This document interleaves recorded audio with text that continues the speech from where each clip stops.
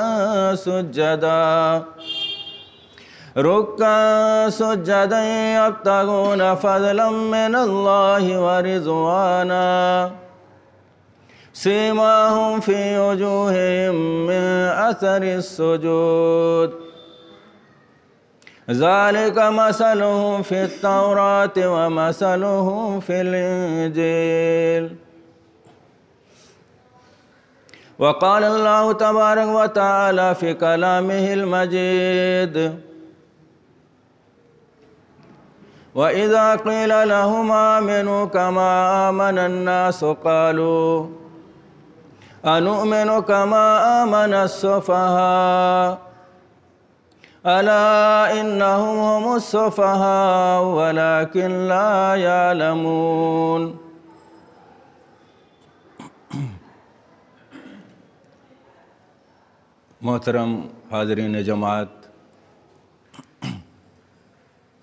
बुज़ुर्गान कौम मिलत नौजवानान मिलत इस्लामिया सबसे पहले तारीफ़ व तौसीफ़ किबरियाई और बड़ाई। उस अल्लाह रब्बुल इज़्ज़त के लिए लायक ज़ेबा और सजावार है, जो इस कायनात का खालिक व मालिक, राजिक और पालनहार है। बादहू बेशुमार दरुद सलाम उस हस्ती अकदस मुक़दस पर, जिसका नाम नामी इसमें गिरामी हज़रत मोहम्मद मुस्तफ़ा सल्लल्लाहु अलैहि वसल्लम बिरादरान इस्लाम,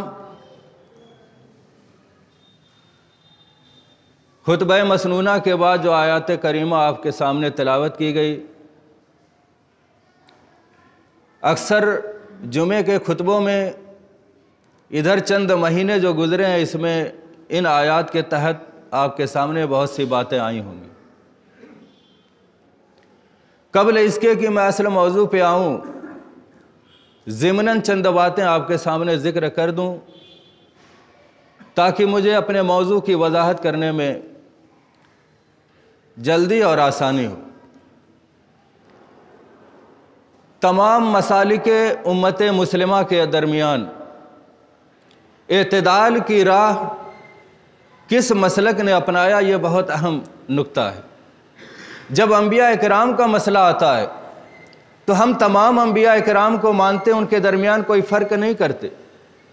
मगर अफजलुलम्बिया अल्लाह के नबी सल्लल्लाहु अलैहि वसल्लम को मानते आप देखेंगे, यहूदी सिर्फ़ मूसा सलाम से बेपना मोहब्बत करते हैं, उन्हीं को मानते हैं, मगर उनके अलावा किसी नबी को नहीं मानते। आप देखेंगे ईसाइयों को कि वो ईसा इस्लाम से मोहब्बत का दावा करते हैं और उन्हीं के तर्ज़े को अपनाने की कोशिश करते हैं, उनके अलावा किसी नबी से उनको कोई मतलब मगर हम उम्मत वस्त और उम्मत अतदाल हमने तमाम अम्बिया को बिल इजमाल एक लाख कमोबेश चौबीस हज़ार अम्बिया कराम पर ईमान रखते हैं, जिनका ज़िक्र कुरान मुक़दस में उनको नाम के साथ मानते हैं, और उनका जिनका ज़िक्र नहीं है उनको इजमालन हम मानते हैं। ये एक अतदाल का रास्ता है। इसी तरीके फ़िक्र को आगे बढ़ाते हुए जब साहबा इकराम के दरमियान हमारा मसला आता है तो आप देखेंगे कि एक गरोह ऐसा है जो चंद सहाबा को मानता है, बाकी से इनकार करता। कुछ लोग हैं जो चंद सहाबा के अलावा किसी भी सहाबी को मुसलमान मानने के लिए तैयार नहीं, उनको काफिर मुर्तद तक कहने से नौजुबिल्ला बाज नहीं आती। मगर हम उम्मत अतदाल ने मनहज सलफ़ को इख्तियार करते हुए एक ऐसा मनहज और अकीदा अपने असलाब से अखज़ किया जिसके अंदर तमाम सहाबा इकराम की इज़्ज़त नामूस को बरकरार रखते हुए, अहल बैत इकराम को भी अपनी आँखों और का नूर और अपने सर का ताज बनाए हुए हैं। मगर ये बीच में चंद सरपसंद अनासर, जिन्होंने बीच में नफ़रत की दीवार कायम की और सहाबा और अहल बैत को मद्द मुकाबिल खड़ा कर दिया। और ये बाबर कराने की कोशिश की मौजू और मन गढ़त रवायतों के ज़रिए कि सहाबा और अहल बैत दोनों बाहम एक दूसरे के दुश्मन थे। आज की इस तकरीर के ज़रिए, इस बयान के ज़रिए इन अज़ीज़, मैं यही कोशिश करूँगा कि कौन कहता है कि हम तुम में जुदाई होगी, ये हवाई किसी दुश्मन ने उड़ाई होगी। हकीकत में साहबा इकराम और अहल बैत एक दूसरे से बेपनाह मोहब्बत करते थे। और सहाबा जब लफ्ज़ इस्तेमाल किया जाए तो उसमें अल बैत खुद ब खुद शामिल होते हैं। जैसे मलाइका कहा जाए तो सारे फरिश्ते, वर रूह कह दिया जाए तो जबरीसम हालाँकि ये अलमलाइका में शामिल थे, मगर अलग से वर रूह कह दिया ताकि इनकी फजीलत को साबित किया जाए। सहाबा जब कहा जाए तो अल बैत उसमें शामिल हैं, अलग से कुछ खसूसियात उनकी हैं, चूँकि वो नबी के घराने के हैं, इसलिए उनका अलग से ज़िक्र कर दिया गया। इस एतबार से अल बैत को लोगों ने कोशिश की है और हर दौर में कराम ने सही अकीदे के ताल्लुक से लोगों को किताबों के ज़रिए, तकरीरों के ज़रिए यह बताया है कि सहाबा से अल बैत कभी भी जुदा नहीं हुए। आयत करीमा मैंने तिलावत की पहले साहबा कराम की अजमत को आपके सामने रखूँ, फिर उसके बाद अहल बैत अतहार का ज़िक्र करूँगा और फिर मुख्तसरन एक बीच का और अतदाल का रास्ता बता करके अपनी बात को ख़त्म करूँ। जो आयत करीमा मैंने तिलावत की अमूमन सभी लोग सुरफत की आखिरी आयात मोहम्मद रसूलुल्लाह। अल्लाह ने फरमाया कि मोहम्मद वसल्लम अल्लाह के रसूल हैं। वल्लजीन महू, और वो लोग जो आपके साथी हैं, जो आपके साथ रहते हैं। वल्लजीन असहाब नहीं कहा गया कि और जो आपके असहाब हैं, आपके सहाबा हैं। बल्कि मैत का लफ्ज़ इस्तेमाल के कर, करके अल्लाह ने यह बतला दिया कि और वो लोग जो आपके शाना बशाना साथ चलते हैं और आपकी तरफ़ उठने वाली हर नज़र को, टेढ़ी नज़र को पकड़ने के लिए आगे बढ़ जाते हैं, हर आपकी तरफ़ बढ़ने वाले तीरों को अपने सीनों पर रोकने वाले हैं, आपकी तरफ़ उठने वाले जुल्म तुगयान की आदि को सीना सिपर होकर के अपने ऊपर रोकने वाले व लजीन महू और जो आपके साथ रहते हैं अशिद्दालकुफ़ार काफिरों के खिलाफ सख्त हैं। रोहमा व बैन आपस में रहम, दिल है एक दूसरे पर रहम और तरस खाने वाले हैं। यानी साहबा कराम में आपस में एक दूसरे के लिए इतनी रहमत का गोसा दिल के अंदर मौजूद था कि एक दूसरे के लिए किसी तरह का ज़ाती इंतकाम रखने का कोई, उनके अंदर सोच और दूर दूर तक कोई शायबा भी उसका नहीं था। हाँ अगर कोई दीनी मसला है, दीन के मसले में, अकीदे के मसले में कोई लचक है तो बाहम एक दूसरे के लिए खड़े हो जाते थे और दलील के ज़रिए से उनको साबित करने की कोशिश करते थे। मगर कोई मिसाल नहीं है कि ज़ाती इंतकाम कभी किसी से, अपनों से तो दूर की बात है, दुश्मनों से भी ज़ाती इंतकाम कभी किसी ने नहीं लिया। बड़ी नादिर मिसाल है और बिल इतफ़ाक़ तमाम मसलक के उलमा बयान करते हैं कि हत अली रज़ी तु एक बार एक जंग के अंदर एक काफिर के सीने पर चढ़ के बैठ गया और करीब था कि उसका सर उसके तन से जुदा कर देता। इतने में काफिर ने हताली के चेहरे पे थूक दिया। आपने उस काफिर को उसी हालत में छोड़ा और किनारे खड़े हो गए। काफिर हक्का बक्का रह गया। ये क्या तर्ज है? ये क्या तरीका है? अभी तो मेरी जान लेने के दर पे थे। अब जब मैंने चेहरे पे थूक दिया तो और ज़्यादा गुस्से में मुझको कत्ल करना चाहिए, और बुरी तरीके से मुझको मारना चाहिए। मगर अब मुझको छोड़ के अलग क्यों खड़े हो गए? हत अली रज़ी अल्लाह तु ने क्या जवाब दिया? इसको आज हमें अपनी ज़िंदगी में उतारने की ज़रूरत है खसूस उन लोगों को जो महब अली का दावा करते हैं। और हम तो अलहमदिल्ला मुहिबान सहाबा हैं, और उसमें खसूस हत अली रज़ी अल्लाह तु आते हैं। फरमाया अ काफिर, अभी तक तो मैं तुझे अल्लाह के लिए मारने के लिए तेरे सीने पे चढ़ा था मगर अब जब तुमने मेरे चेहरे पे थूक दिया, मुझे गुस्सा आ गया। अब मैं अगर तुझे कत्ल करूँगा तो इसमें मेरा कोई जाति मामला। अब मैं अपने गुस्से की वजह से तुझे मारूँगा। ये मेरा ज़ाती मामला हो जाएगा, इसमें मुझे अजर सवाब नहीं मिलेगा। कितनी अहम बात की तरफ़ इशारा कर दिया। कुल इन सलाती व नसो की व महया व ममाती रबीआलमीन ए नबी, आप कह दीजिए और उम्मत को ये दर्स दे दीजिए कि मेरी नमाज़, मेरा रोज़ा, मेरी तमाम तर रसूम इबादत और मेरी ज़िंदगी मेरी मौत सब अल्लाह तेरे लिए। ये सहाबा की तर्ज ज़िंदगी थी। उन्होंने अपने तौर पर अपने लिए जीना कभी गवारा नहीं किया, दुश्मनों को भी। अगर इस बात का उनको एहसास भी हो गया कि ये समझ रहा कि मैं अपने लिए इसको मार रहा हूँ तो उसके सीने पर चढ़ करके भी उससे अलग हो करके हथैली ने यह किरदार पेश किया। अल्लाह तबारक ने फरमाया कि वल्लाजीन शिद्दालकुफ़ार जो लोग अल्लाह के नबी के साथ रहते हैं, वो काफिरों के लिए बड़े सख्त हैं। जब दीन का मामला आ जाए तो पत्थर की चट्टान बन जाते हैं और जम जाएँ। लाखों के मजमे के दरमियान तो सिर्फ़ सात सौ सहाबा एक तरफ़ और एक तरफ़ कई लाख का भी लश्कर हो तो तारीख बताती है कि फ़तो कामरानी से हम किनार होकर के लौटे। कभी भी पीछे नहीं हटे, बल्कि वह तवल्ली यहमजुफ़ और जंग के मैदान से पीछे हटना, ये तो गुनाह कबीरा में शुमार किया गया। अल्लाह के नबी ने ऐसी तरबियत की एक सहाबी की, कि कभी मैदान जंग से भागना मत, वरना तुम गुनाह कबीरा के मरतकब गर्दाने जाओगे शरत इस्लामिया के। वल्लजीन हुआ शिद्दारकुफ़ार रहमा बैन आपस में एक दूसरे के लिए बड़े रहमदिल थे। एक दूसरे के लिए रहमदिल थे, इसकी एक मिसाल मैं आपके सामने रख आज हमारे माशरे के अंदर आप देखिए, अदालतों के अंदर बड़े से बड़े नेक आदमी अपना हक लेने के लिए किस तरीके से वकीलों को झूठी और सच्ची बातें बता करके अपनी मनमानी चीज़ को हासिल करने की कोशिश कर मगर आप साहबा कराम की पूरी तारीख पढ़ जाइए। जो कोई भी मामला उनका अदालत में पहुँचा, उसी वक्त हल होकर के वापस आ गया। कभी तारीख पे तारीख नहीं पड़ी। किसी भी साहब मताला के सामने तहरीर में कभी ऐसी बात नहीं गुजरी होगी कि आज ये कहा गया हो कि कल इसका फैसला सुनाया जाएगा। इसके पीछे क्या राज आपने कभी सोचा?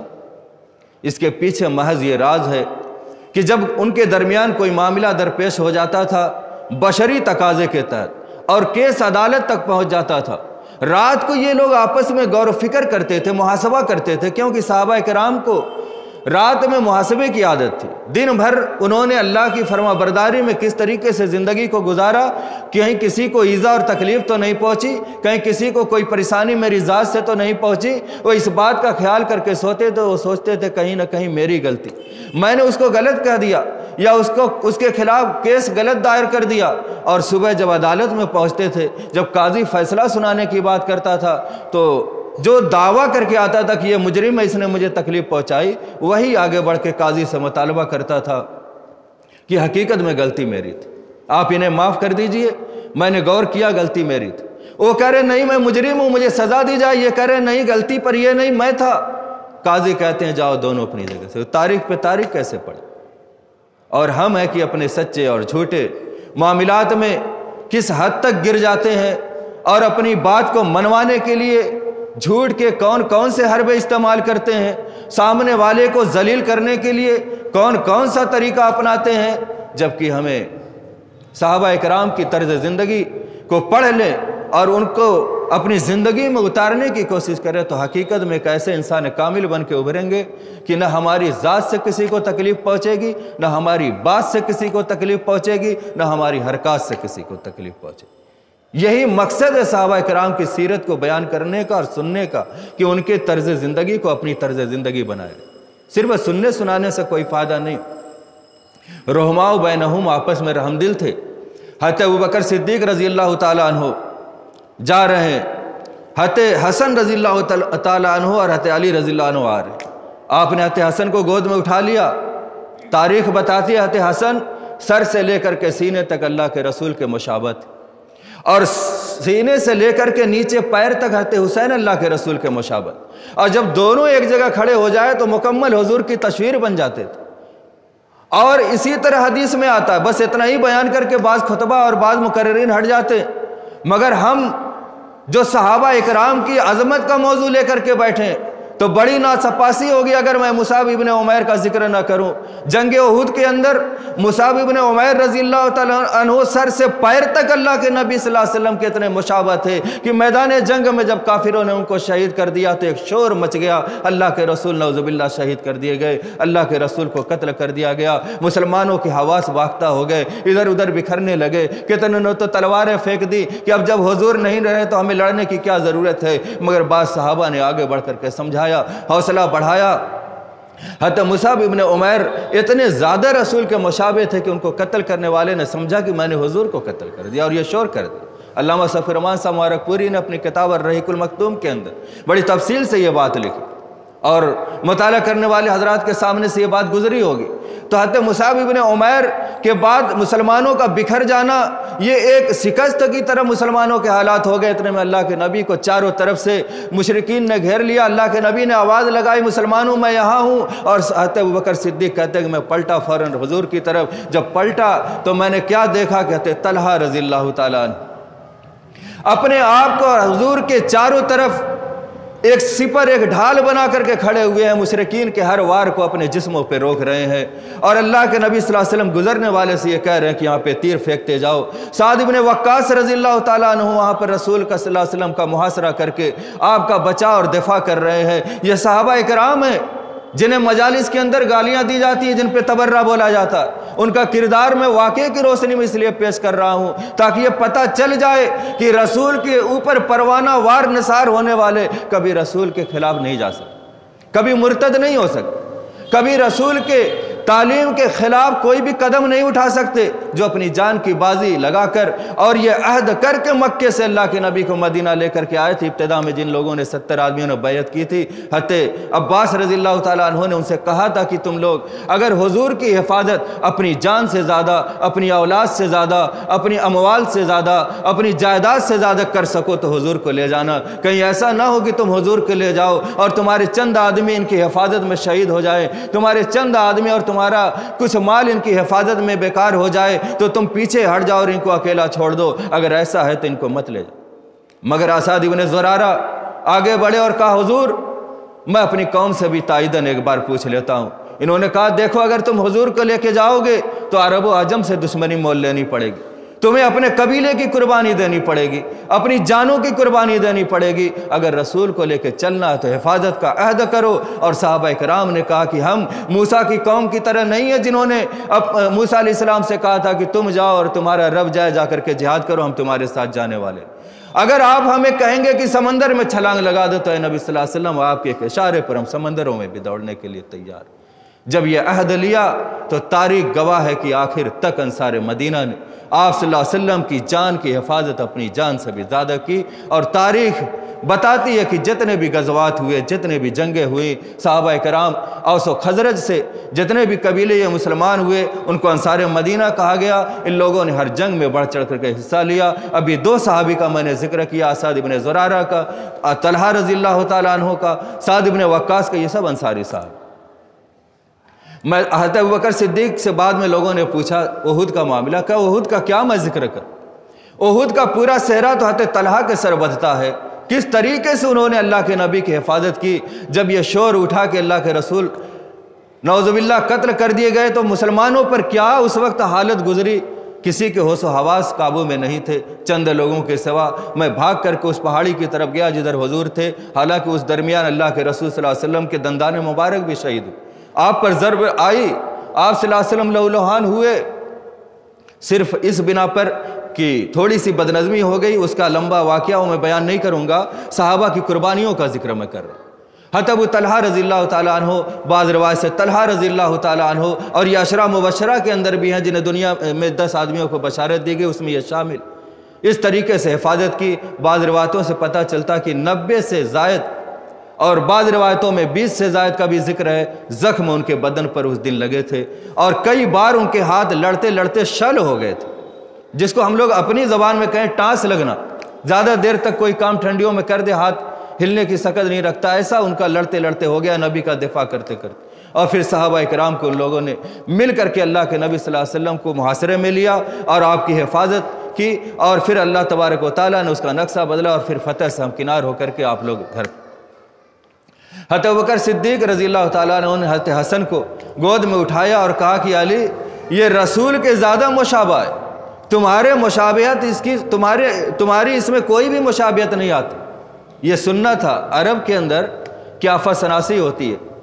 अगर बेटे की कुछ मुशाबियत बाप और माँ से न मिले तो एक इल्ज़ाम हो जाता था। ये बात कहने के लिए जो लोग तारीख पढ़े हैं, अरब की वो जानते हैं क्या फसनासी का बड़ा अहम मैटर था। जैसे ही अबू बकर सिद्दीक ने कहा कि अली, अगर तुम नाराज़ हो, न हो तो एक बात कहूँ, कहा, आप कहिए तो कहा कि हसन रसूल के ज़्यादा मुशाबा है तो मुझसे कोई भी इसकी मुशाबियत नहीं आते। अली रज़ी हंसने लगे। तो मुशाबियत हत हसन को शबी पैम्बर कहा जाता। अब एक आलिम ने बड़ी नुक्ते की बात कही है कि सीने से ऊपर का हिस्सा हत हसन का अल्लाह के रसूल के मुशाबा था। और अल्लाह के रसूल सल्लल्लाहु अलैहि वसल्लम हिल्म बुरदबारी दिए गए थे। बर्दाश्त में सब्र में आपकी मिसाल दुनिया ने पेश नहीं की। एक यहूदी का बयान है कि मैं मुसलमान होना चाहता था तो मैंने बहुत सारी आपकी अलामतें जो तौरात, इंजिल के अंदर मैंने पढ़ी थी, उस सबको मैंने बारी बारी आजमाया, सब में आप खड़े उतरे। एक अदा और ऐसी थी जो मैंने पढ़ा था कि आखिरी नबी बड़े बुरदबार होंगे, यानी बड़े सब्र वाले होंगे। इसको आजमाने के लिए मैं आपके आसपास फिरा करता था कि किसी तरीके से कोई मौका आए, मैं आपके सब्र को आजमाऊं। इत्तेफाक से एक मरतबा आप वसल्लम ने कर्ज़ का मुतालबा किया। ये शख्स फ़ौर आगे बढ़ा और कर्ज़ दे दिया।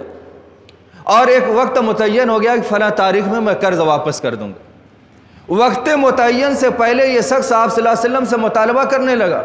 और मुतालबा करने का अंदाज़ देखिए कि आप वसल्लम हमेशा अपने कंधे पर चादर रखते थे। इस शख्स ने चादर ऐसे अंदाज में खींची ऐसे अंदाज में उसको खींचा कि उसके खींचने की रगड़ से आपके गर्दन मुबारक पे निशान पड़ गया। हत उमर फारूक उस मजमे में मौजूद थे। कैसे उनको गवारा हो कि नबी वसल्लम के मजमे में वो मौजूद हो और कोई टेढ़ी नज़र से भी रसूल की तरफ़ देख ले। तलवार की तरफ़ हाथ बढ़ाना था कि अल्लाह के नबी ने सारे से रोक दिया, उमर रुक जाओ। ये कर्ज खा है। इसको हक है। हालाँकि अभी वक्त मुतन नहीं आया। इसकी गुस्ताखी थी। आप वसल्लम ने सब्र का मुजाहरा किया। उल्टे उमर फारूक को डांटा। और कहा, इसको हक है कि हम उससे मुतालबा करें। आपका जब बर्दाश्त ये देखा उसने तो ये आखिरी निशानी थी जो आजमा रहा था, फ़ौरन कलमा पढ़ के मुसलमान। ये यहूदी फ़ौरन कलमा पढ़ के मुसलमान हो गया। ये हिल्म बुरदबारी अल्लाह के रसूल ने फरमाया कि ये मेरे बेटे हसन को दी गई।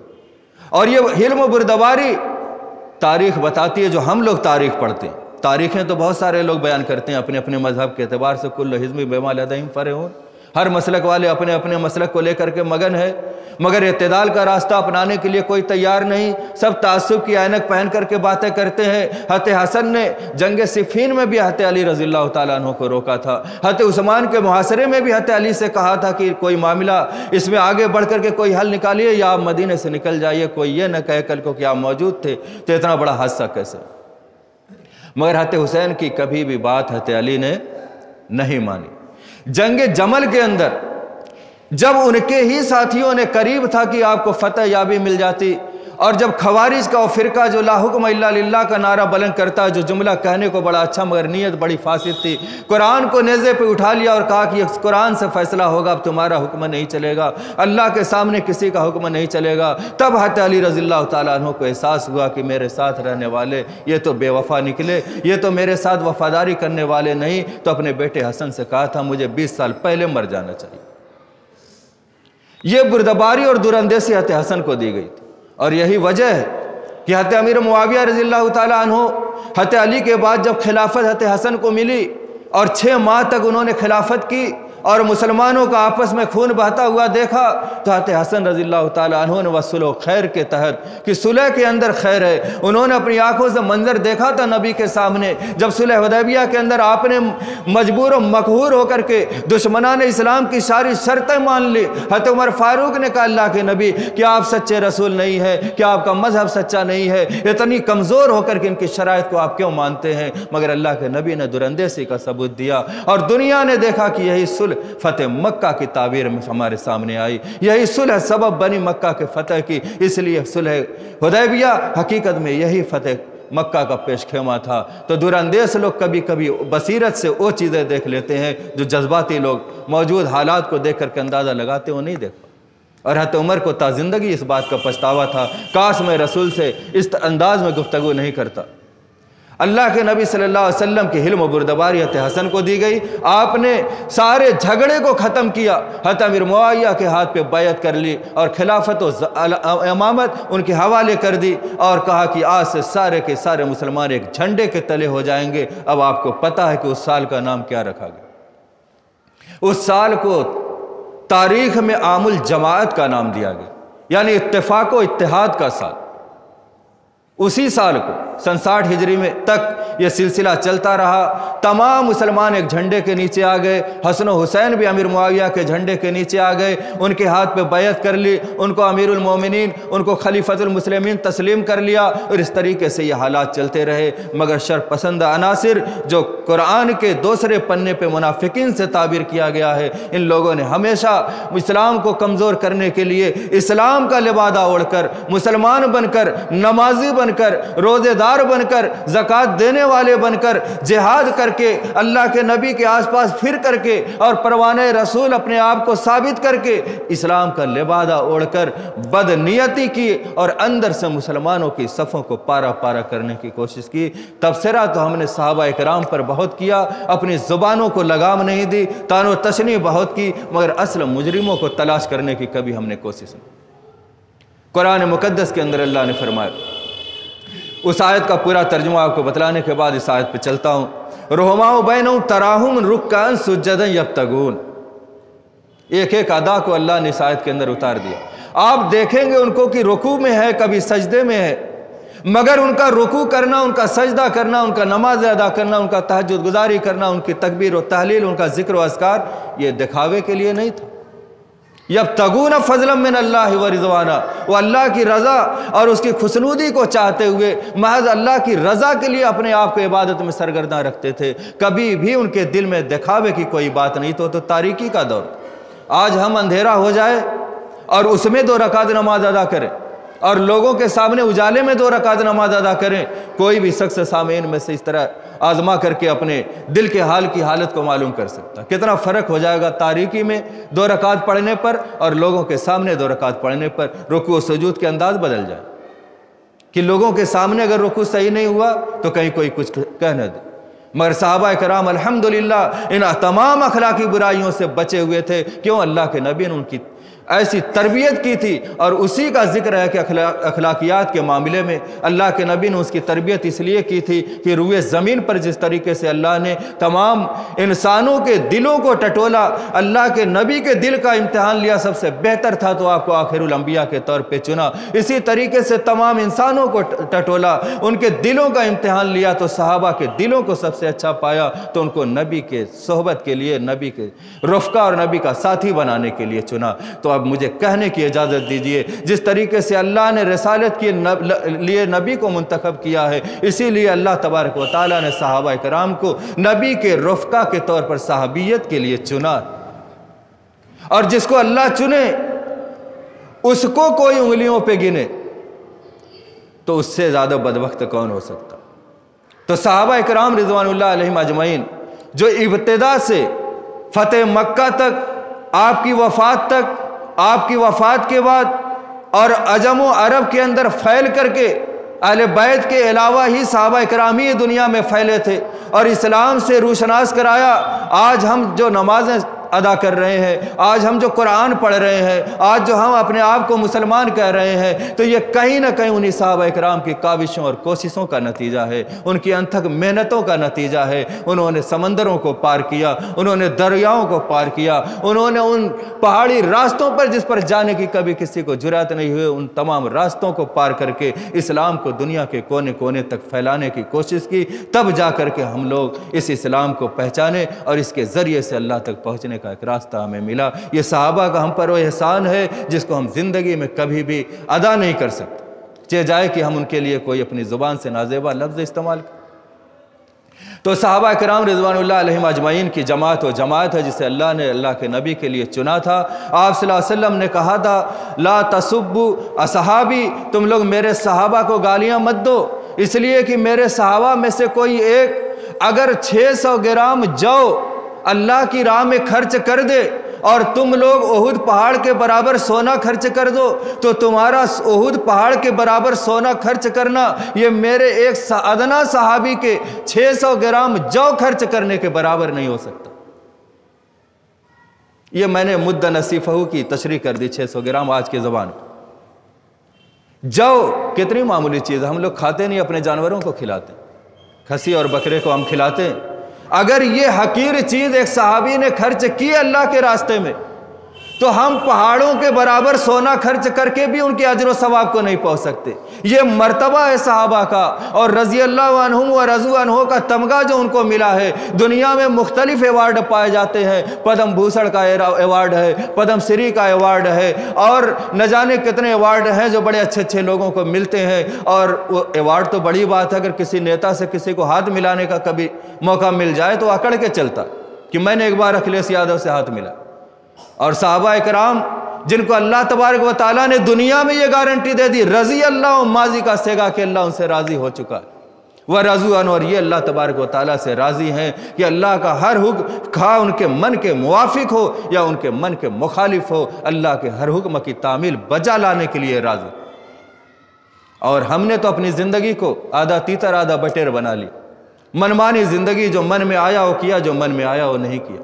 और इसी तर्ज पर अपनी ज़िंदगी को गुजार रहे हैं। मगर साहबा इकराम ने बैत की थी। अल्लाह के नबी बैत की धाराओं में एक धारा ये भी थी कि तुम चारों नाचार, खुशहाली और तंगी में और रजामंदी हो या ना रजामंदी हो, तुम्हें वो हुक्म अच्छा लगे या ना लगे, हर हालत में मेरी अतात करें और साहबा ने यह करके दिखाया।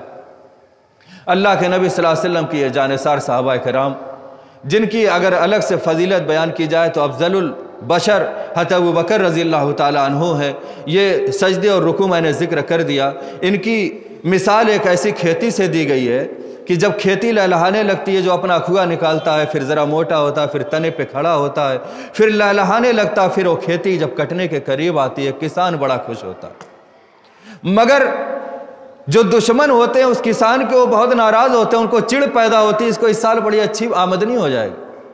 तो जब साहबा कराम जो इब्तदा में बड़े कमज़ोर थे, जब रेत पे घसीटे जाते थे, जब चटाइयों में बाँध के मारे जाते थे, जब रस्सियों में बाँध करके उनको घिस, घसीटा जाता था, जब उनकी नाक में धुआँ दिया जाता था, जब उनकी हर किस्म की ऐसो आसाइश को छीन लिया जाता था और उनको बेसरो सामान घरों से निकाल दिया जाता था, ये कमज़ोरी देख करके कुफ़ार मुशरकिन खुश होते मगर जब इस्लाम मज़बूत होने लगा, इस्लाम ताकतवर होने लगा और जब इस्लाम के अंदर बड़े बड़े अच्छे सरदार शामिल होने लगे, तब इनको हसद होने लगा। तो ले यगीज़ बेहमुल कुफ़ार कह करके अल्लाह तबारक वाली ने यहाँ पर बात चल रही थी खेती की। अचानक ये कहा, किसान और खेती की बात चलते चलते बीच में कुफ़ार की बात कहाँ से आ गई? तो पता ये चला कि सहाबा को खेती से ताबिर दे करके अल्लाह ने यह बतलाया कि किसान की किसान खुश होता है और उस पर जलने वाले उन कुफ़ार की तरह हैं जो साहबा से जलते थे। आज भी जो साहबा कराम से जलते हैं, वो काफिराना अमल के मुस्त, काफिराना अमल से मुतसिफ हैं। उनको इस आदत से बाद आना चाहिए। इसलिए कि, साहबा से जलना इस्लाम की फरावानी और इस्लाम की बढ़ोतरी से जलना। और साहबा तो हमारी सनद है।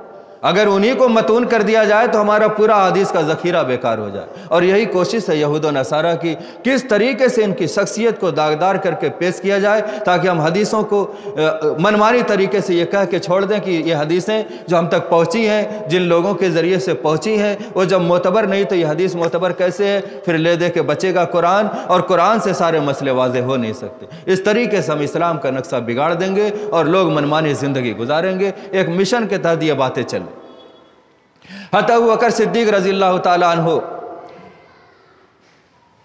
एक वाक़ वो मुशासरी रज़ी अल्लाह तु का आपके सामने रख दूँ। एक बाग के अंदर अल्लाह के नबी पहुँचे और उसमें एक फाटक था। एक कुएँ की मुडेर उसमें कुआँ भी था, उसमें आप पैर लटका करके कुएँ की मुडेर पे बैठे। हत अबू मुसासरी से कहा कि दरवाज़ा बंद कर दो। इतने में दरवाजे पे दस्तक हुई और वो दरबान भर के दरवाजे पे बैठे थे।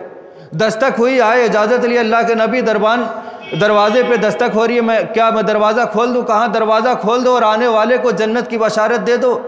अबू मूसा असरी ने दरवाज़ा खोला, देखा तो बकर सिद्दीक तशरीफ़ ला रहे हैं। आए और अल्लाह के नबी के बराबर कुएँ की मुडेर पे पैर लटका के आप भी बैठ गए। दरवाज़ा बंद हो। थोड़ी देर में फिर दरवाजे पे दस्तक अल्लाह के नबी से इजाज़त तलब की कि क्या मैं दरवाज़ा खोल दूँ?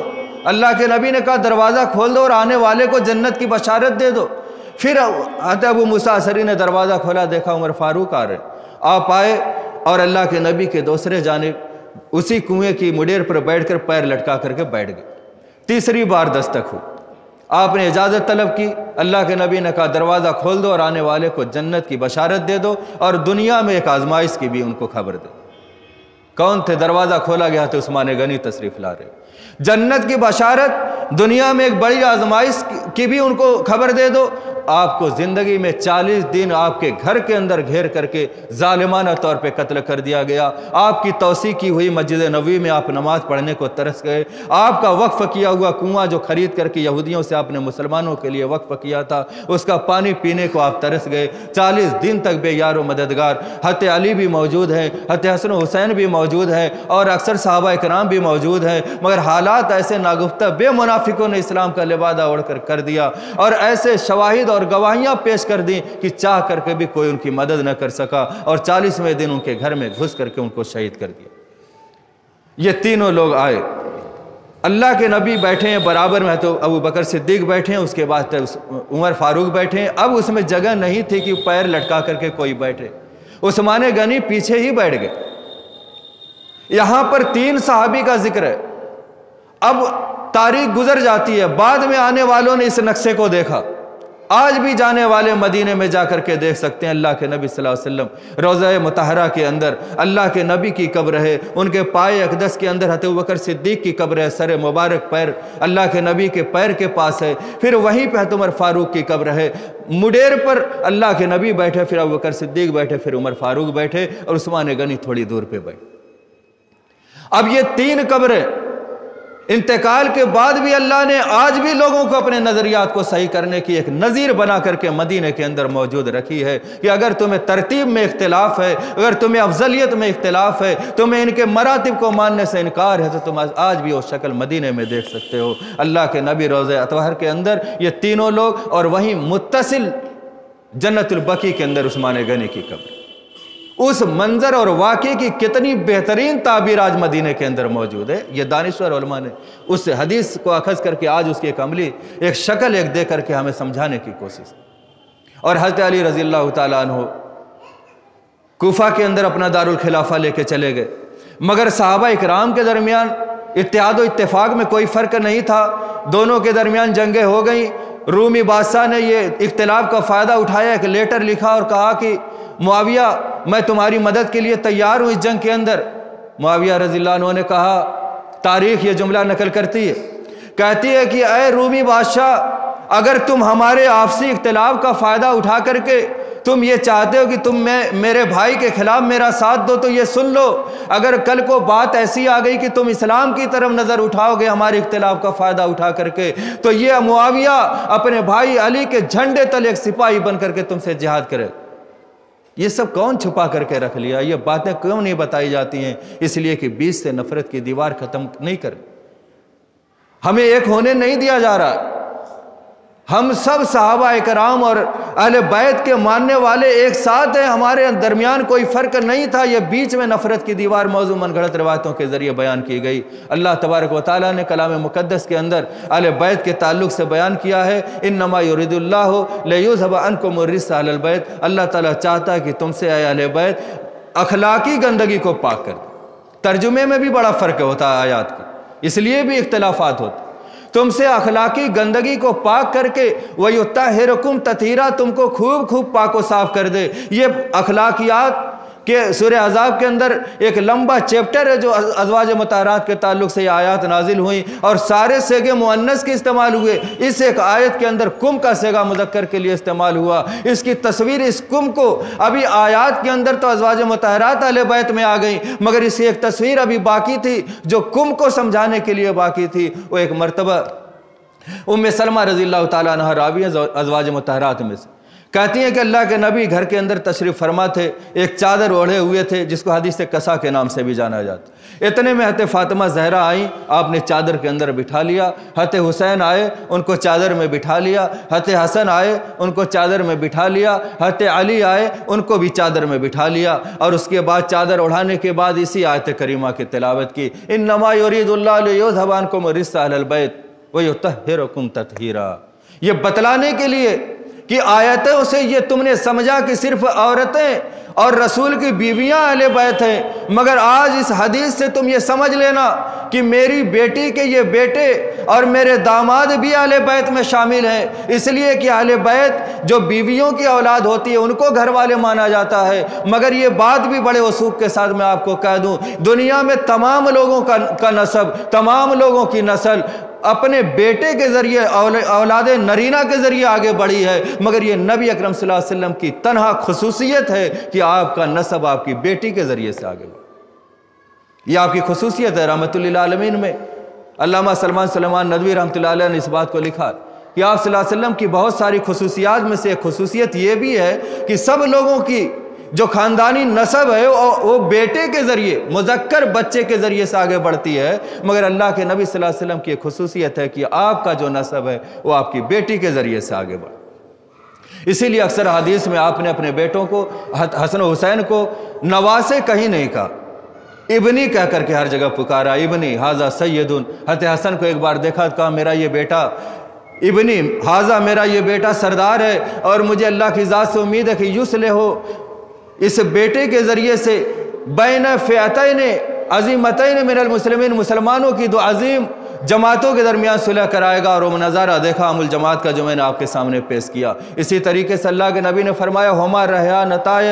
ये दोनों मेरे दुनिया के दो फूल हैं। मिन अली दुनिया दुनिया में से लोग फूल को सूंघ करके खुशबू हासिल करते हैं। कोई अतर को सूंघ करके खुशबू हासिल करता है, मगर हजूर सल्लम को हसन हुसैन से इतनी मोहब्बत थी कि उन्हीं को सूंघ करके खुशबू हासिल करते थे। ये मोहब्बत थी हजूर सल्लम को। अपने असहाब से एक मरतबा जैद अरकम के पास तीन ताबे आए। आल बैत का ज़िक्र आ गया। तीन ताबे जैद इबन अरकम के पास पहुँचे। पहुँचने के बाद हुसैन इबन सबरा, हुसैन, मैंने कहा, हे स्वाद, ये नून। और जो हज़रत हुसैन बिन अली रजील्ला सिंध से, और ये जो मैं ज़िक्र कर रहा हूँ, हुसैन इबन सबरा, ये हे स्वाद, ये नून है। हुसैन इबन सबरा ताबेई जैद इबन अरकम और दो और साथी इनके पहुँचे और कहा कि, जैद इबन अरकम आप अल्लाह के रसूल के साथी हैं, आपने अपनी आँखों से उनको देखा, उनके पीछे नमाजें पढ़ी, उनकी क़्यादत में जंगें लड़ी। आपने उनकी ज़ुबान तर्जुमान वही से अल्फाज को रूबरू होकर के आपने सुना। आप कुछ खबरें हमें भी बतलाए, कुछ हदीसें हमें भी सुनाए। हत जैद ने कहा, मैं बूढ़ा हो गया हूँ। बहुत सी बातें एक ज़माना गुजर गया, भूल भी गया हूँ। जो बातें बतलाऊँ, उसे तुम सुन लो, याद रखो और जो न बतलाऊँ, उसको सुनाने पे मुझे मजबूर न करना। उसके बाद कहा कि मक्का और मदीना के दरमियान एक जगह है जिसको खुम कहा जाता है। वहाँ पर अल्लाह के नबी सल्लल्लाहु अलैहि वसल्लम ने साहबा इकराम का मजमा था और बड़ी अलवदाई गुफ्तगु की और कहा लोगों, सुन लो, हो सकता है कि अब इसके बाद तुम्हारी मुझसे मुलाकात ना हो। हो सकता है कि मेरे पास अल्लाह का कासिद आए और मुझको पैगाम दे और मैं उसकी दावत कबूल कर लूँ। और इस तरीके से एक ऐसे अल्फाज में आपने साहबा से गुफ्तु की, साहबा की आँखों में आँसू आ गए, गोया कि अब आपका आखिरी वक्त है, पैगाम मौत आपको आ सकती है और आप दुनिया से अपना जो है अमानत अदा करके जाने वाले हैं, वहाँ पर आपने बहुत सारी वसीयतें कि उन्हीं में फरमाया ओज़क के रो मैं तुम्हारे दरमियान दो चीज़ें छोड़े जा रहा हूँ। ना तारकुम बैनकुम सकलैन, मैं तुम्हारे दरमियान दो चीज़ें छोड़े जा रहा हूँ। उसकी तशरी लोगों ने की किताबुल्ला कुरान व अहलो बैती और अपने घर वालों। और वो हदीस जो हम लोग अक्सर खुतबों में बयान करते हैं किताबुल्ला है वह सुन्नति, मैं अल्लाह का कुरान और अपनी सुन्नत छोड़ के जा रहा हूँ। अलग हदीस है। और ये भी सही हदीस है, इमाम मुस्लिम ने इसको रिवायत किया कि मैं अल बैत को और कुरान को छोड़ के जा रहा हूँ। तो जहाँ पे कुरान और सुन्नत को अलग अलग बयान किया गया और यहाँ पर कुरान के साथ अल बैत को ज़िक्र किया गया। तो यहाँ कुरान में सुन्नत भी शामिल है और अहल बैत का ज़िक्र इसलिए किया कि अल्लाह के नबी अलवदाई गुफ्तगु कर रहे हैं। अल्लाह के नबी के जाने के बाद तीन चीज़ों की हिफाजत, तीन चीज़ों का पासो लिहाज मुसलमानों को करना अजहद ज़रूरी था और अगर इसको न करे तो गुमराही वाजिबी थी। पहली चीज़ थी किताबुल्ला कुरान को जब तक मुसलमान पकड़े रहेंगे, गुमराह नहीं होंगे। और एक मरतबा, अंग्रेज़ों की मीटिंग में एक पादरी ने कुरान को उठा करके कहा था कि इससे मुसलमानों को दूर कर दो, तुम्हें कभी इनसे लड़ने की ज़रूरत नहीं पड़े।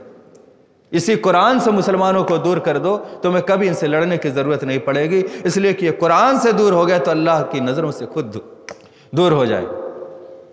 उसके बाद सुनत रसूलुल्लाह है, रसूल का तरीक़ाकार है। जब रसूल की हर हर अमल में मुताबिकत अगर हम छोड़ देंगे तो गुमराह होने में देर नहीं लगे। और तीसरी चीज़ थी आले बैत। अहल बैत की, आपने उज़क के रकुम अहल बैती उज़क के रकुम अहल बैती।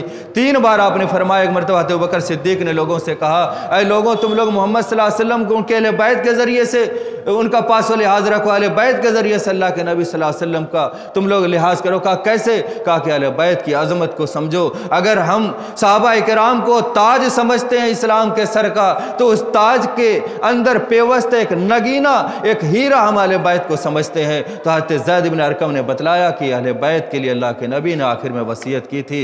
उसके बाद के मामलात में हमने इसीलिए तारीख में देखा कि अहल बैत के साथ जिन लोगों ने दुश्मनियाँ की हैं, तारीख ने उनके नाम निशान मिटा दिए। उनके ख़ानदानों का पता नहीं, उनकी ज़िंदगियों का पता नहीं, लेकिन जिन लोगों ने अहल बैत को अपनी सराखों पर रखा, आज भी और ता ज़िंदगी उनको सराहा जाएगा। इसी तरीके से अल्लाह के नबी सल्लल्लाहु अलैहि वसल्लम ने अल बैत के हर मौके पर खुतबा दे रहे हैं, हसन हुसैन आ रहे हैं। आप खुत, वो गिरते गिरते बच्चे, लुढ़कते हुए बच्चे, आप खुतबे के मेंबर से उतर करके दोनों को गेद, गोद में लेकर के फिर मेंबर पे चढ़े, फिर खुतबा देने लगे। ये सब अमली तौर पे करके साहबा को दिखा रहे हैं कि मेरे बाद तुम भी इनकी इसी तरह कदर करना। और साहबा ने इसी तरह उनकी कदर की। अब हम पर जो इल्ज़ाम हैं, उनका चंद एक जवाब देकर के बात को ख़त्म करूँगा। अल्लाह के नबी सल्लल्लाहु अलैहि वसल्लम ने जो हमें शरीयत दे करके दुनिया से गुजर गए पहले खलीफा बने हत बकर सिद्दीक। हम पर एक इल्ज़ाम है कि जब अल्लाह के नबी सल्लल्लाहु अलैहि वसल्लम का इंतकाल हुआ तो आपके इंतकाल के वक्त आपके जनाजे में, आपकी तदफीन में तीनों खलीफा नहीं थे। इसका दिफा करना बहुत ज़रूरी। हो सकता है बहुत सारे लोगों को मालूम ना मैं आपको ये बतला दूँ कि सोमवार के दिन अल्लाह के नबी का इंतकाल हुआ, इसमें किसी का इख्तलाफ नहीं। बुध के रोज आपकी तदफीन हुई है। कितना फासला हो गया? सोमवार, मंगल, बुध। तीसरे दिन आपकी तदफीन हुई। जब आपका इंतकाल हुआ तो अल्लाह के नबी वसल्लम के पास हत अली और घर के लोग मौजूद थे। घर ही के लोग अंदर होते हैं। पर्दे का हुक्म नाजिल हो चुका था। हर शख्स घर में घुस नहीं सकता था। हत बकर की बीवियाँ जो थीं तो एक मदीने से करीब घर था। एक मकाम सन है जो मदीने से कुछ दूर पे था, वहाँ पे था। हत बकर सिद्दीक की बारी इत्तेफाक से उस दिन मकाम सन वाली बीवी के पास थी। जिस दिन इंतकाल हुआ अल्लाह के नबी आप उस घर में थे। आपको खबर जब पहुँची, वहाँ पर इंतकाल किया भागे हुए आए। आप वसल्लम हुजर मुबारक में पहुँचे। आप एक यमनी चादर से आपको ढाका गया था। आपने चादर रुख अनवर से हटाया पेशानी का बोसा लिया, जारो के तार रोने लगे और उसके बाद बाहर निकले। मंजर देखा, हत उमर के हाथ में तलवार और कह रहे हैं कि जो भी कहेगा, हजूर का इंतकाल हो गया, उसका सर तन से जुदा कर दूँगा। साहबा कराम घुटनों के बल पड़े रो रहे हैं। किसी को यकीन है, किसी को नहीं है। एक अफरा तफरी का आलम है। आप एक ऊँची जगह पे खड़े हो और खुतबा दिया कि मोहम्मद वसल्लम का इंतकाल हो गया। और अल्लाह तबारक व ताली ज़िंदा है, जो अल्लाह की इबादत करता था, वो समझ ले कि हय्युल्ला यमूत है, और जो मोहम्मद वसल्लम की इबादत करता था, वो समझ ले कि उनका इंतकाल हो गया है। और वमा मोहम्मद अल्ला रसूद कद खलत मिन कबल हमर रसूल। और मोहम्मद वसल्लम की मौत और इससे पहले का आयत आयत जब पढ़ी तो साहब कराम ने कहा, इससे पहले हमें ये मालूम ही ना नहीं था कि ये भी आयत कुरान के अंदर। अब सारे के सारे लोग उस आयत को बार बार पढ़ने लगे ताकि हर कोई उस आयत पर ईमान ले आए और मामला दुरुस्त हो जाए। ऐसे नाजुक वक्त में हत बकर ने लोगों को संभाला ये उन्हीं का दिल गुर्दा था। वरना उतने नरम दिल आदमी जो नबी वसल्लम ने एजा नसरुल्ला नाजिल हुई एक, एक कि अब जब पढ़ा कि फसब बेहमद रब का वस्तक फिर नौकान तवाबा रोने लगे। लोग कह रहे हैं कि क्या हुआ ये बूढ़े आदमी को? इसमें कौन सी ऐसी बात है रोने की? कहा यह आयत अल्लाह के नबी की मौत का पैगाम। इतनी बसीरत और इतना रिक्कत आमेज रखने वाला दिल जो बात बात पर रोने लगे, आज इतनी सख्ती बरती। हर गिरे वक्त में हत वकर सिद्दीक रज़ी तु आगे बढ़े और उम्मत को संभाला। उसके बाद खबर मिली कि सकीफ़ा बन उसादा के अंदर अंसार महाजरीन के दरमियान खिलाफत को लेकर के इख्तलाफ हुए ये भी हम पर एक इल्ज़ाम, उसका मैं दिफा कर। मैत की तजीद व तकफीन हमें से हर, हर कोई जानता है कि घर का आदमी गुसल दे बेहतर है घर का आदमी जनाजा पढ़ाए बेहतर है घर का आदमी कबर में उतरे ये बेहतर। है हर शख्स ये जानता। यही तरबियत अल्लाह के नबी ने की थी। अल्लाह बकर सिद्दीक ने उमर फारूक से कहा कि ये गुस्ल का मामला, तजीज़ व तकफीन का मामला ये अहल बैत घर वाले करेंगे। वहाँ से इख्तलाफ की खबर है, चलो जल्दी से देखें कि आपस में लड़ने की कौन सी बात आई। उमर फारूक के लेकर के सकीफ़ा बन उसायदा एक जगह वहाँ पहुँचे। देखा तो बाहम एक दूसरे से लड़ रहे, खलीफा अंसारी होगा, वो कह रहे खलीफा मुहाजिर होगा। अल्लाह के नबी वसल्लम ने जो इनको तरबियत की थी, उसमें एक बात बताई थी कि अगर तुम्हारा आपसे इख्तलाफ हो जाए तो उस फैसला अल्लाह उसके रसूल की तरफ़ लौटा देना। फ़ैन तनाज़ा तुम फ़िशन फ़रुद्दू व रसूल। अगर तुम्हारा किसी मामले में इख्तलाफ हो तो अल्लाह उसके रसूल की तरफ़ लौटा दो। हत अबू बकर सिद्दीक ने मजम आम के दरमियान एक हदीस मुबारक तिलावत फरमाई, काल आई मतमिन कुरैस इन कानों ने सुना हजूर ने फरमाया कि इमाम हुजूर के बाद खलीफा और इमाम वो होगा जो कुरैसी हो। अब कुरैसी उमर फारूक और अब बकर सिद्दीक ही थे उस उस वक्त वहाँ पर अंसार महाजरीन। के तबके में से लोगों का मशवरा करके अबू बकर के हाथ पर बैत कर ली गई। फिर तमाम लोगों ने बैत कर ली। अब बैत करने के बाद सारा मजमा हजूर वसल्लम के पास आया। फिर उसके बाद आपकी तजहीज़ व तकफीन में शामिल रहे, आपके जनाजे में शामिल रहे। हत उस्मान गनी भी मौजूद है और हत अबू बकर सिद्दीक भी मौजूद है, उमर फ़ारूक भी मौजूद है, हर कोई मौजूद। मगर पहले ये तो तुम जान लो कि उसी दिन इंतकाल हुआ, फ़ौरन दफन नहीं हुए बुध के रोज़ तदफीन हुई है बीच का फासला मालूम हो, तब मसला हल हो। जब तुम फासला ही नहीं मानोगे तो उनको बनु, सकीफ़ा बनु सायदा में मौजूद मानोगे, और यहाँ तदफीन मान लोगे कि यहाँ तदफीन हो गई, और वो लोग वहीं पर पड़े रहे, वो शरीक नहीं हुए। इसी सुबह को जब तक हम ख़त्म नहीं करेंगे, जब तक हमारे दरमियान इख्तलाफ ख़त्म नहीं होगा। ये सब तारीखी मुस्तंद हवाले से आप तक बातें पहुँचाई जा रही हैं, ताकि जो हमारे दरमियान, जो नई जनरेशन है, वो लोगों के दरमियान जब बात आए तो सही जवाब दे सके। उसके बाद बाग फ़दक का मसला आता। एक बाग था जो अल्लाह के नबी अपनी मिल्कियत में रखते थे, आप अल बैत का खर्च चलाते थे, गुरबा मसाकिन को देते। इख्तलाफ हुआ, आते फातिमा जहरा रज़ी अल्लाह तह पहुँची और कहा कि मुझको जो है वो बाग फदक चाहिए। उनको कुछ लोगों ने उकसाया और वो गई। और बुखारी में भी ये वाक़ और इसको बहाना बना करके लोगों ने ये इर्तदाद का हुक्म हरत बकर को मुर्तद कहा, इसी हदीस को बुनियाद बनाकर। अबू बकर सिद्दीक ने फिर एक हदीस पेश की और कहा, इन्ना नहन माशरम्बिया हम अम्बिया की जमात लालू रसो। हम विरासत में जायदाद नहीं छोड़ते। माँ तरक ना, हम जो भी चीज़ छोड़ते हैं सदकतुन वो सदका हो जाती। और सदका अल बैत पे हराम है, हर शख्स का इस पर मुतफ़ा इतफ़ाक़ है किसी भी मसलक का। सदका अल बैत पे हराम है। अब यहाँ पे हदीस आ गई कि अम्बिया की जमात माल और जायदाद वर्षे में नहीं छोड़ती। वो जो होती है, वो बैतुलमाल की मिल्कियत हो जाती है। वो इल्म विरासत में छोड़ के जाते हैं। तो ये हदीस पेश की हते फातिमा जहरा वापस लौट गई। उसके बाद जो सही तारीखी हवाले उसमें कभी भी हत फ़ातिमा जहरा की, हत बकर सिद्दीक से नाराज़गी ज़ाहिर नहीं की गई। और छः महीने के बाद उनका इंतकाल हुआ है, वो राज़ी थी। उस हदीस को सुन करके जो उनके अब्बा की ज़ुबान तर्जुमान से निकली हुई थी उसको जब सुना तो वालिद की ज़ुबान से निकली हुई बात की मुखालफत करे, हत फ़ातिमा जहरा, ये कौन कबूल कर सकता? हत फ़ातिमा जहरा ने उसके बाद कभी कुछ नहीं कहा, अब इसको एक बुनियाद बना करके हम हत बकर सिद्दीक को तानो तस्नी अब हत उमर फ़ारूक बने हत उस्मान गनी बने हत अली रजीलानो खलीफा बने, कोई एक हवाला ला करके पेश कर दे कि ये फ़दक का बाग, इनके बाद हत अली को जब खिलाफत मिली तो उन्होंने अपने कब्ज़े में कर लिया। सबने रसूल के तरीके पर अहल बैद को जितना रसूल देते थे उतना दिया और बाकी गुरबा मसाकिन पर खर्च किया। हमेशा हुकूमत के वो मिल्कियत में रहा बैतुलमाल की मिल्कियत में रहा और जिस तरीके से रसूल ने खर्च किया, उसी तरीके से उसमें से खुलफा खर्च करते रहे। ये तरीक़ेकार था अल बैत और साहबा कराम के दरमियान। तो अल्लाह तबारक व ने हमें और आपको गाली देने से मना किया और हुक्म क्या दिया है? वल्लजीन जाऊ मिम्बादहिम अल्लजीन यकूलून रब्बनक फ़िल्लना वलिखवान सबकूना बिल ईमान। वो लोग जो साहबा इक्राम के बाद आएँगे, वो कहेंगे कि अल्लाह तो हमें भी माफ़ कर, हमारे उन भाइयों को भी माफ़ कर दे जो हमसे पहले ईमान लिया। वला तजाल फ़ी कोलू बिना गिल्लिन आमनू, और जो हमसे पहले ईमान लाए, उनके लिए हमारे दिलों में ज़र्रा, बराबर भी हसद, और कजी, और टेढ़ापन और बोग्ज, और कीना न रब बना इन का रऊफ़ रहीम, हमारे रब तो बड़ा रऊफ़ और मेहरबान और शफीक। तो अब हमें पता ये चला कि हमें सहाबा के लिए दुआ करने का हुक्म है। और गालियाँ और तबर्रा करने का हुक्म नहीं है। इसलिए कि सहाबा ने हमेशा बैत की इज़्ज़त नामूस को अपनी सराखों पर रखा।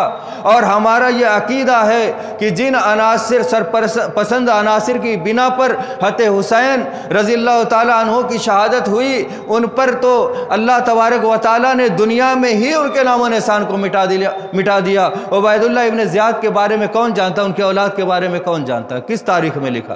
तारीख ने उनको अपने अंदर जगह नहीं दी तो हम और आप अपने दिलों में क्या जगह दें? जो असल मुजरिम है, उनको तारीख ने सज़ा दी है, हम और आप क्या सज़ा देंगे? और जो मुजरिम नहीं थे, वो कल भी थे, आज भी हैं ताक़्यामत रहेंगे। असल मुजरिम को पहचानने की ज़रूरत है और उनको मलून करने की ज़रूरत है। साहबा में और अल बैत में कोई दूरी नहीं थी। आखिरी तारीखी वाक़ जो था हत हुसैन रज़ी तहों को जब ये पता चला मुस्लिम इबन अकील का कत्ल हो गया है, वो समझ गया कि ये कोफ़ी लायूफ़ी की, ये कभी वफा नहीं करेंगे, वापस पलटने लगे। लेकिन वो कज़ा के तहत और रसूल की पेशन गोई के तहत वो वहीं पर घिर के रह गए। आखिरी तकरीर उन्होंने जो की थी, उसमें यही कहा था कि तीन बातें हैं। तुम लोग मुझे या तो किसी सरहद पर जाने दो, जहाँ जंगें हो रही हूँ, मैं शरीक हो जाऊँगा, या मदीना वापस लौटने दो, या मुझे जाने दो, शाम मैं जाकर के यजीज़ से रूबरू बात बात कर।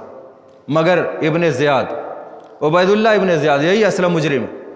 इसने कहा, जब गवर्नर जो वहाँ का था, जब सुपर सालार ने जाकर के कहा कि हत हुसैन ने यह शरात रखी, इबन ज़ियाद ने कहा कि पहले मेरे हाथ पे बायत करे, तब यह शर्त मानूँ हत हुसैन जैसे गयूर शख्स ने इबन ज़ियाद के हाथ पे बैत करना गवारा नहीं किया।